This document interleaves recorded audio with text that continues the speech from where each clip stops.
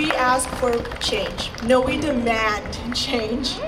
They need to either look into how wellness checks are performed, see if the budget could be placed elsewhere to a profession that will handle these calls better, and allocate these resources so that this doesn't happen again.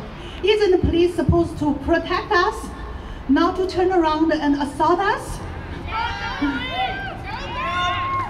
And Mona was already in pain, vulnerable, and harmless. Lacy Browning, how could you hurt her furthermore? If that were your daughter, sister, even your neighbor, if that were a white girl, would you do the same thing to her?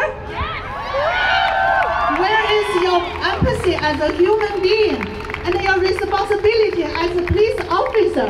It was really scary. Uh, opening the elevator door and then just seeing the trail of pill debris and blood leading up to my suite, like that was one of the most scariest moments in my life. And so um, when I opened the suite, it looked like a crime scene. Like furniture was shuffled.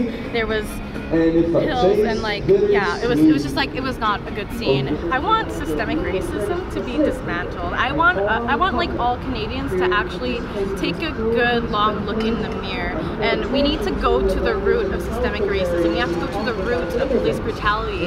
And it brings us all back to the very beginning of police in canada. And a lot of people say that like i may be living in the past but it seems to me that everybody else is living in the past right now i want to live in the future i don't want this to happen anymore. I feel like a lot of police officers are so desensitized and disconnected from humanity and uh, that really reminded me of like this situation that's going on with Mona because Lacy Browning was very disconnected from humanity and very desensitized in the situation.